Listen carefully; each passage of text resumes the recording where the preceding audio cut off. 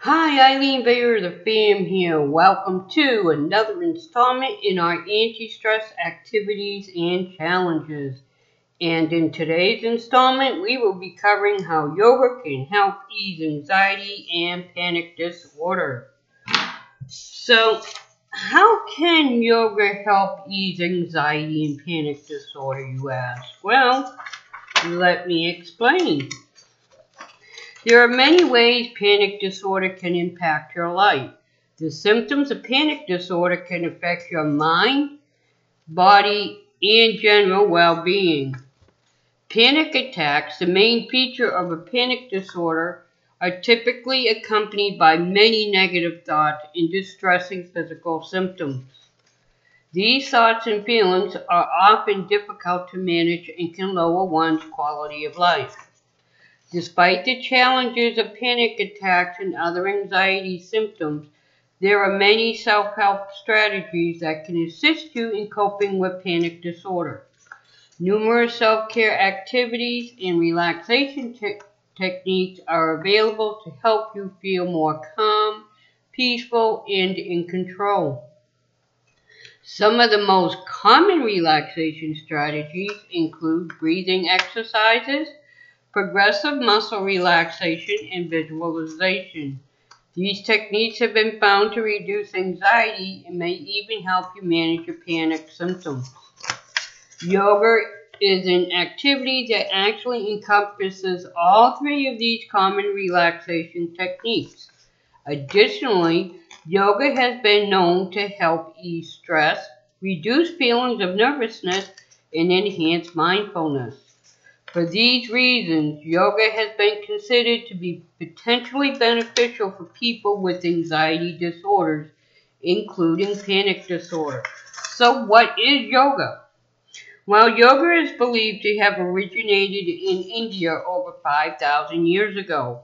Derived from the ancient Indian language of Sanskrit, the term yoga means to yoke or unite. Yoga practice involves a joining of the body, mind, and spirit. Through breath work, meditation, movement, and relaxation, yoga can help restore a sense of personal balance. Yoga has become a popular way to renew the body by increasing strength, improving balance, and enhancing flexibility. Many people are devoted to the yoga lifestyle that includes a practice beyond physical exercise. Numerous non-exercise aspects of yoga, such as breathing exercises and meditation, can help calm a busy mind and assist in letting go of stress. Given the many stress reductions benefits of yoga, it is not surprising that yoga can also be helpful in managing fears, panic, and anxiety. How yoga can help with panic disorder. Well, there are many uncomfortable physical symptoms of panic and anxiety, such as feelings of tension, tightness, and pain sensitivity. Yoga postures known as asanas, people help ease the physical discomfort that is caused by anxiety.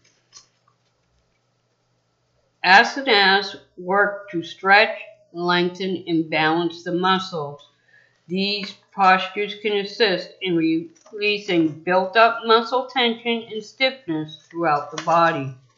Yoga poses are often taught in sequences that can be powerful form of physical exercise. There are many ways in which exercise benefits panic disorder, including a reduction in pain and stress.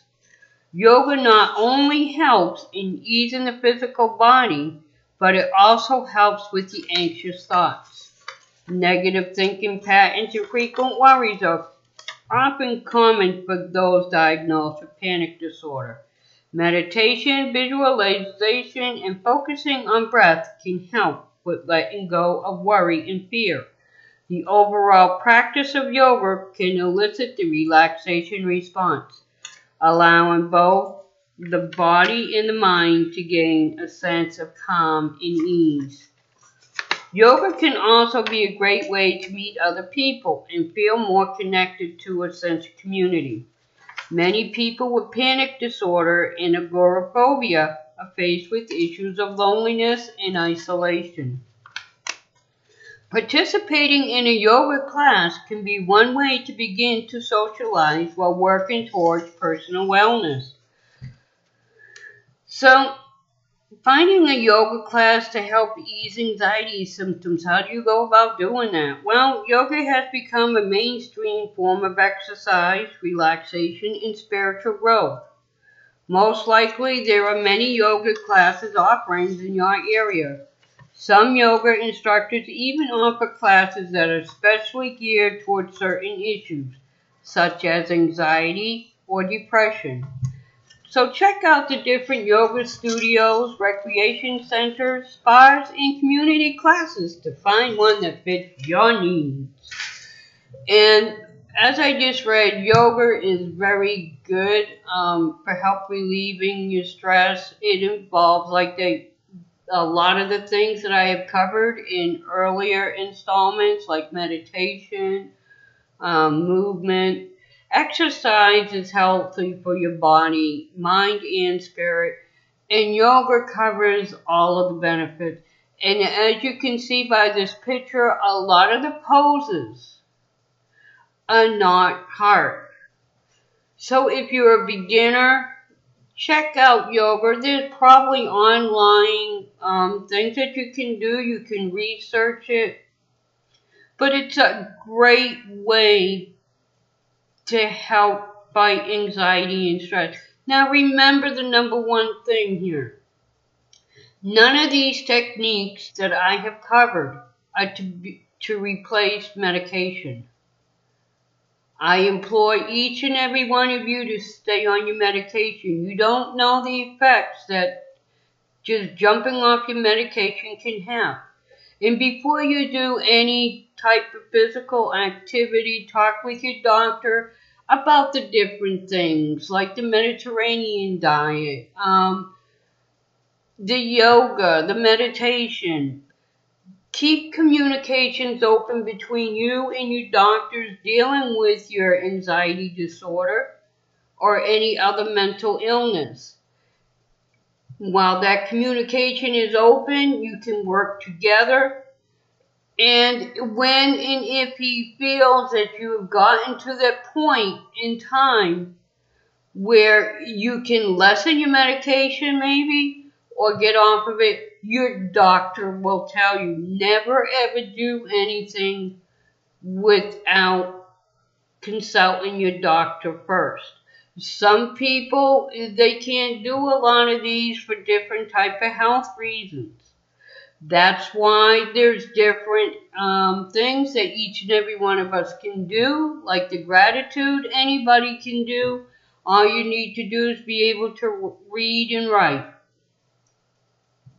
As long as you can read and write, you just put down, start your morning by putting down some things that you are grateful for. That starts you on a good mood. Okay? Then, if the doctor says you can do the meditation. Now, I'm going to be doing another um, segment. It's going to be another playlist, and it's going to be more detailed on all the different areas that I've covered and how to do, um, make simple things at home if you're on a budget and you don't have the money to go out and order the different things like stress balls and stuff that you can have around you on your desk.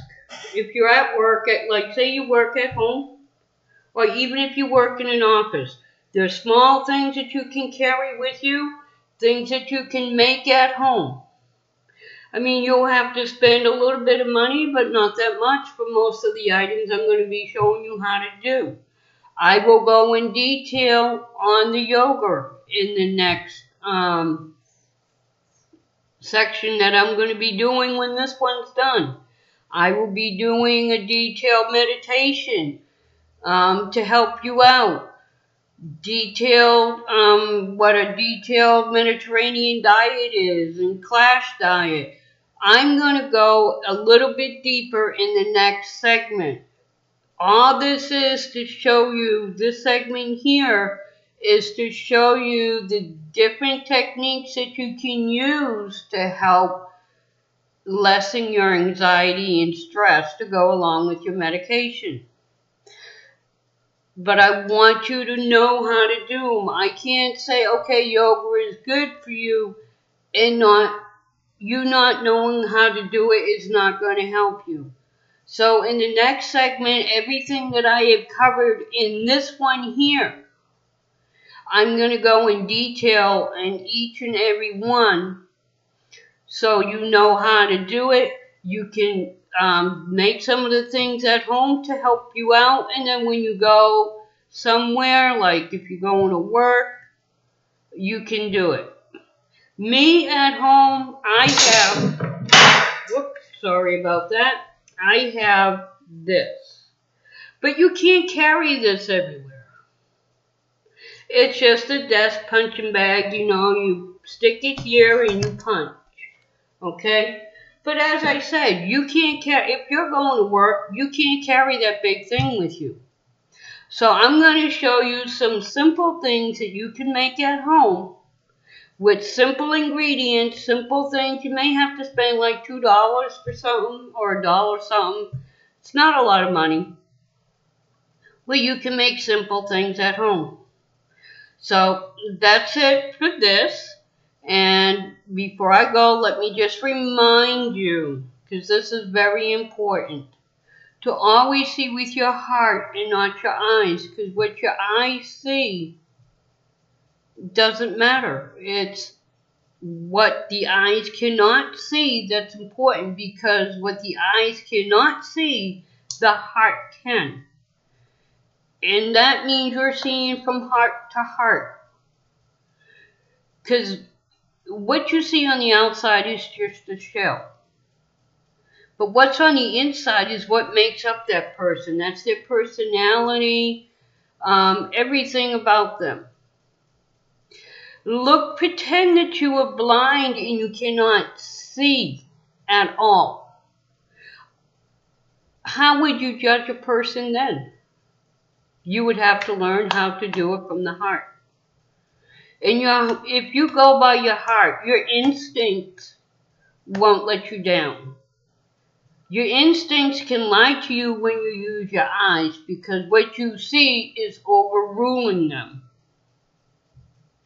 But when you can't see, your instincts take over. For those that don't know, people with any physical disabilities, um, their other senses pick up. And where I was born with that eyesight and started wearing glasses like at two years old, I've learned at a young age not to trust my eyes because I can't see very well to begin with. So I've learned to use my heart. And I see people for who they are and what they are because of it. I don't have a lot of anxiety in my life or stress. I mean, just the daily ones that everybody normally has. I've gone through a lot in my life, but I have overcome every bit of it. I am not just a survivor, I'm a warrior, and I want to teach everybody what I've learned through my experiences, what helps, and go beyond as much as possible. I want to help you out there to overcome whatever you're dealing with. I want to help you. Yes, you. I want to help you deal with your anxiety and stress or any anger issues. I want your lives to be better. And in doing this, it takes education of the different mental health issues that's out there. So you know you don't just quick to judge somebody because of something you know, okay, there's probably a problem. And you can deal with it accordingly by that. I want to help you with ways to deal with your own anxiety and stress and anger issues so that your days are better. And I want to teach you ways, you know, go in depth on ways to do this. Everything I do, I'm doing to help you. Because that's the way this world should be. And that's the way I am. I love each and every one of you out there. Yes, I'm talking to you. I'm right up and talking to you. Because you all matter to me. You are so very important. You were created for a reason. And you're beautiful in your own rights. Don't ever, ever let anybody tell you different. I don't care what they think. It doesn't matter. Just know that you were uniquely made and your life matters just like anybody else's. And I love each and every one of you for you. So remember, until I see each other again, have a great day and always see with your heart and not your eyes. Love you all. Bye.